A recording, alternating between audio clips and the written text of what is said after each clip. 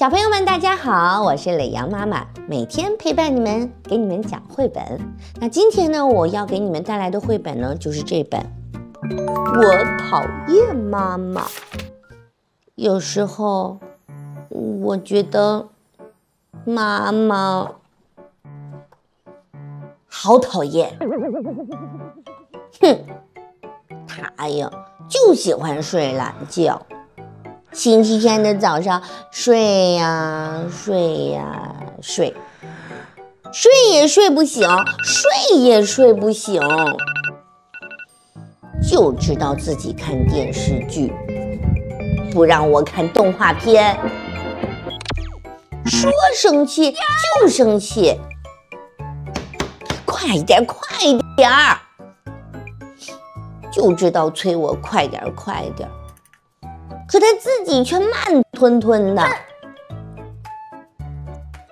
还有来幼儿园接我的时候总是迟到，还忘记洗衣服。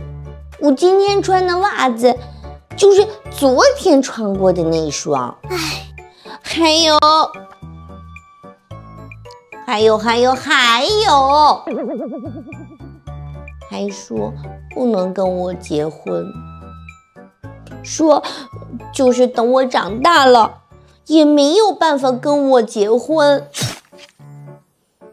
说，就是等我长得再大、再大、再大，也没有办法跟我结婚。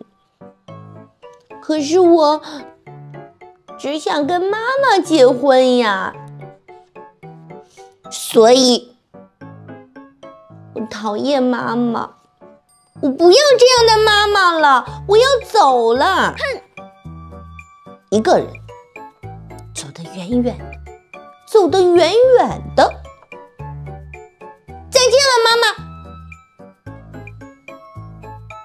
咦，怎么了？忘了什么东西吗？嗯，忘了拿球。嗯，我要带走的。嗯，对了，妈妈，什么？又见到我，妈妈高兴吗？当然高兴啦！好啦，小朋友们，这本绘本是不是非常有趣呢？因为讨厌妈妈要离家出走了，但过一会儿自己又回来了。妈妈俨然不知道，她心里上演了这么一出大戏。嗯，妈妈说：“怎么了？是忘带了什么东西了？”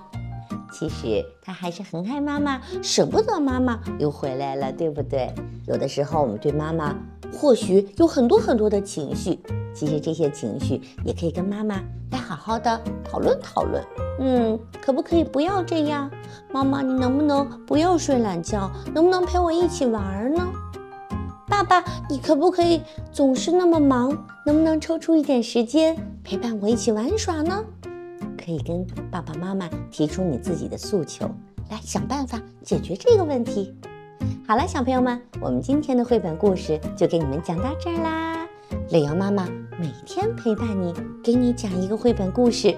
我们明天的故事再见。